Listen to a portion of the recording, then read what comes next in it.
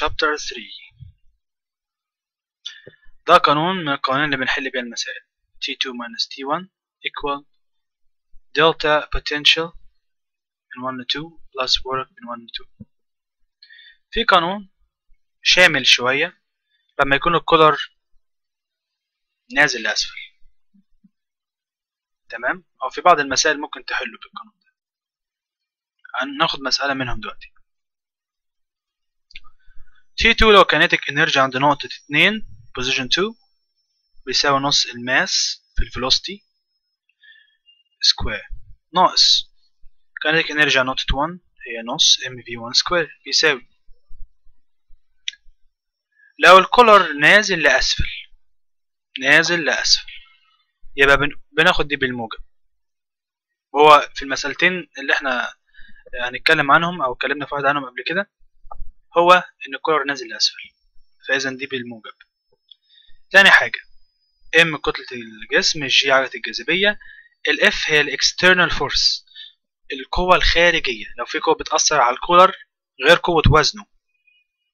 تمام؟ قوة خارجية.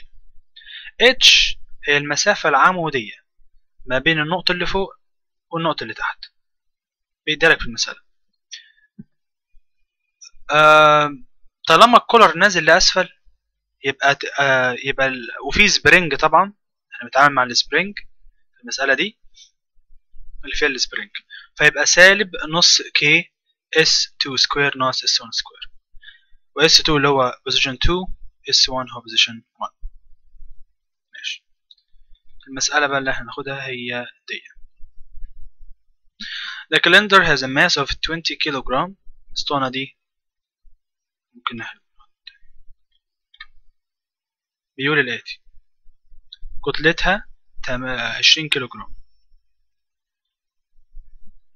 وبيقول لك is released from rest اتحركت. ماشي.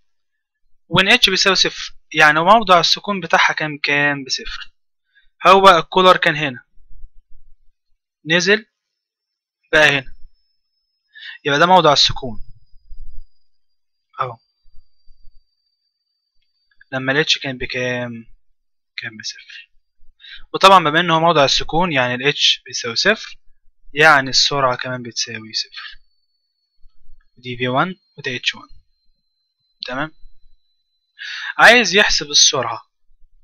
لما الجسم ده اتحرك مسافة قدرها 3 متر. لما الجسم وصل لهنا. اتحرك بعد 3 متر. سرعته بقت بكام؟ وبيقول لك إن ال spring المسافة بتاعته قبل قبل الشد 2 متر. يعني دي دي قبل الشد 2 متر يعني الحتة دي. والتانية برضه قبل الشد 2 متر يعني الحتة دي.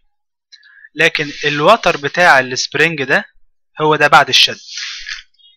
ده الوتر بتاع ال spring ده هو بعد الشد. تمام؟ تمام. تعرف انت تجيب المسافة دي بعد الشد؟ بسيطة. لو انت عندك ده اتش اهو اتش بيساوي تلاتة يبقى كده المثلث بتاعنا ده تلاتة. h هو مديهالك بتلاتة ده تلاتة. وده اتنين اتنين متر. تعرف تجيب الوتر؟ الوتر هو بيساوي الجذر التربيعي لتلاتة تربيع زائد اتنين تربيع يعني هيساوي جذر تلاتاشر يبقى الطول بتاع ال spring ده بعد الشد كان بكام؟ كان بجذر 13 تمام. ونفس الكلام برضو الناحية التانية. طول ال spring التاني برضو كان جذر 13 بعد الشد. تمام. المسألة دي فيها تغير في الطول. قبل الشد وتغير في الطول بعد الشد. يعني delta x. delta x هي التغير في الطول. قبل آه بعد الشد ناقص تغير الطول بعد الشد. آه بعد الشد بعد كده ناقص قبل الشد. طيب. التغير في الطول بعد الشد. قلنا يعني بعد ما تشد ال spring ده وينزل لتحت هيبقى كام؟ ينزل 3 متر هيبقى جذر 13 طب التغير في الطول delta s مثلا. قبل الشد هو l ناقص l naught. التغير في الطول قبل الشد كام؟ هو l ناقص l naught. بما ان إحنا ما شدناهوش أساسا إحنا بنقول قبل الشد. هل بيحصل تغير في الطول قبل الشد؟ لا طبعا. فاذا l هي هي l naught فيبقى 2 ناقص 2 بيساوي صفر. يعني L الجديدة هي هي L nought فهيساوي صفر. فعلا التغير في قبل الشد بيساوي صفر. تغير قبل شد ال spring الاسفل بيساوي صفر. طيب وهو ده اللي هنحل بيه المسألة دي. إن إحنا نحسب التغير في الطول بعد الشد ناقص التغير في الطول قبل الشد في قوة ال spring. أهو. بص كده معايا. velocity 1 بصفر. هو عايز يحسب ال velocity 2 عند نقطة 2 ولتكن دي. ومديك ال H بتلاتة. ومديك ال S 2 ال S باتنين اللي هو قبل الشد يعني باتنين. متر طيب. ادي حل المسألة. التغير في الطول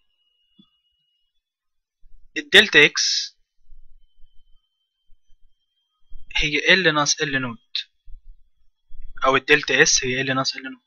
التغير في الطول قبل الشد إحنا قلنا بصفر. لأن L ناقص L nought.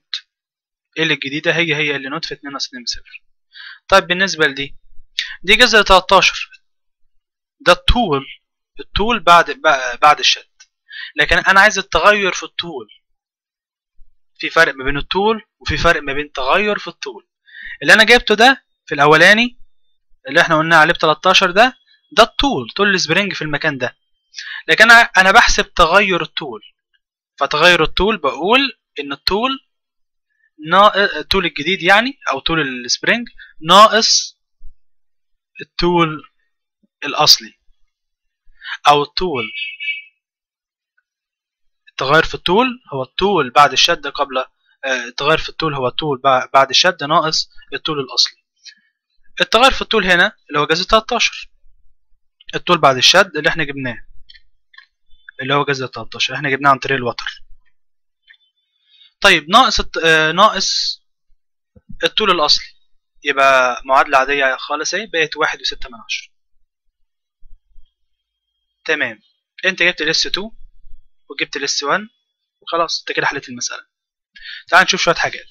نص M الكتلة بعشرين velocity اتنين square دي اللي هو عايزها. ناقص نص الكتلة بعشرين ال V1 square بصفر فال term ده كله راح. الكتلة دي أو ال collar أو الكتلة دي نزل الأسطوانة دي نزل أسفل فدي خدناها بالموجب. ال M بعشرين ال G بتسعة وتمانية من عشرة زائد هل في أي قوة خارجية بتأثر على الجسم ده؟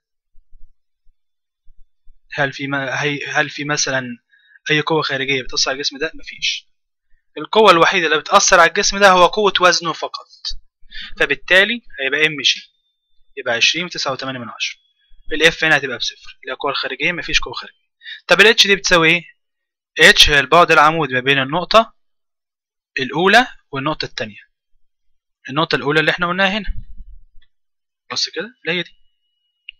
دي واحد النقطة الأولى ودي النقطة التانية. اتنين. البعد ما بينهم H اللي هو بيساوي تلاتة متر. لو 3 متر. ناقص. الاتنين دي كانت منين؟ بما إنك إنك بتشتغل على اتنين spring فأنت قلت اتنين. حطيت الاتنين هنا وتحط معادلة spring مرة واحدة بدل ما تحطها مرتين. فقلت اتنين. وقلت ناقص قلت ناقص علشان الكرة نازل لأسفل تمام؟ واتنين. المعادلة بقى اهي بتاعت قوة ال spring هي نص K S 2 square ناقص S 1 square.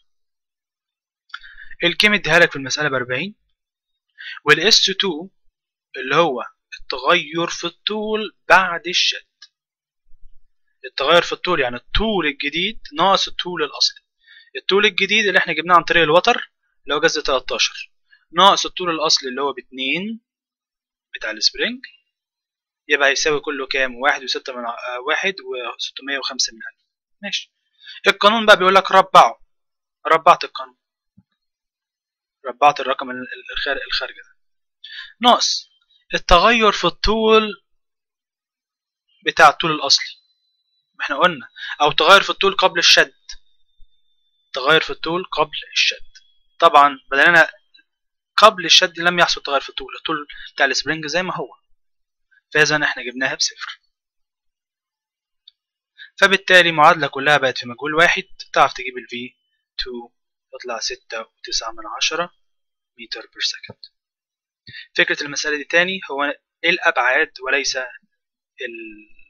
القوانين يعني؟ هي الأبعاد دي بس تجيبها إزاي؟ تغير في الطول قبل الشد تغير في الطول بعد الشد. تغير في الطول قبل الشد هو لم يحصل تغير في الطول فهو إيه؟ اتنين. ناقص اتنين بصفر. طول ال spring قبل الشد هو هو طول طول ال spring قبل الشد. ما اتغيرش فبصفر. أما طول ال spring بعد الشد تغير في طول ال spring بعد الشد هو طول ال spring ناقص الطول الأصلي. طول ال spring ناقص طول الأصلي. طول ال spring جبناه عن طريق فيثاغورس الوتر جذر تربيعي تلاتة تربيع اللي هو ال H زائد اتنين تربيع اللي هو الطول ده تمام؟ فهتطلع جذر 13 ناقص الطول الأصلي بتاعه اللي هو L nought. ما هو تغير في الطول يعني L ناقص L nought. L بجذر 13 و L nought بكام؟ باتنين. فهتطلع واحد وستة من عشرة. بس. شكرا.